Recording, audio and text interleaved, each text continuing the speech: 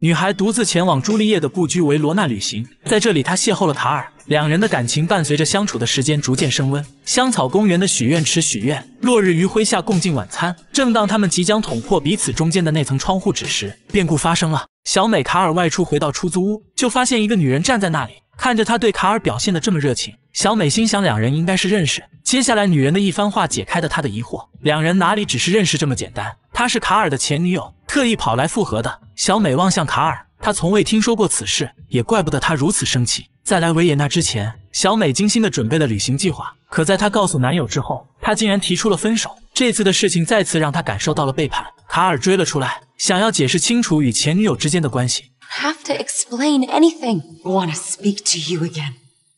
Don't call me. Don't text me. 说完，转身离开，来到酒店，望着两人旅行中拍摄的照片，小美不禁自嘲的笑了笑。卡尔望向窗外，又看了看身后的前女友，不禁想到了很多。I think she may have developed a little crush on you. Poor thing. Like a lovesick puppy back there. 他深深的叹了口气。隔天清早，小美的门铃被按响，她还以为是卡尔，可打开门，来人却是那个抛弃了她的前男友。他不远千里找到小美是来求复合，可迟来的道歉犹如草芥。小美面对曾经爱的死去活来的男人，再也没了当初的感觉。但迫于他的热情，他还是不情愿的答应了他的用餐邀约。但座位已经坐满了。也就在这时，一个熟悉的声音响起，谁也没想到会这么巧。两人尴尬的想要找个地缝钻进去。Don't be silly. We have a table for four and it's the two of us. Wow, you really wouldn't mind? Oh, come on. Take a seat. 不知道内情的两人有说有笑，小美只能不停的喝酒，尽量避免卡尔的眼神。不久，醉意涌上大脑。前男友看到后，It was very nice to have dinner with both of you. Um, we're gonna 贴心的将她扶起。两人走后，卡尔想到了书中朱丽叶的话，Wherefore art thou, Romeo? 他不想因为一时的怯懦，错失生命中最重要的那个他。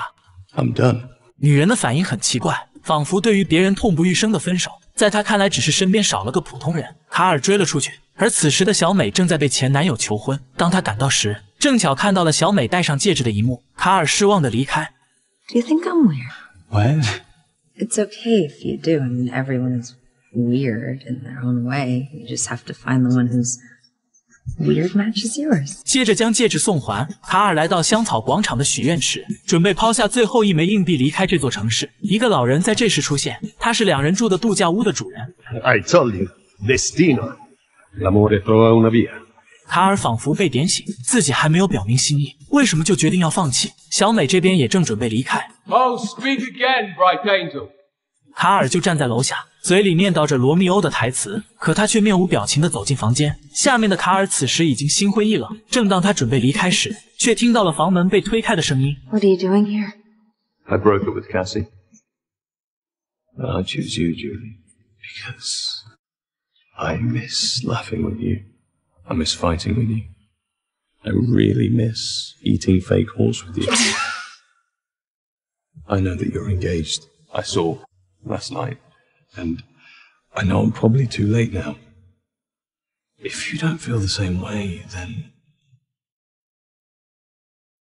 最终，两人在这片神圣的朱丽叶故居相拥。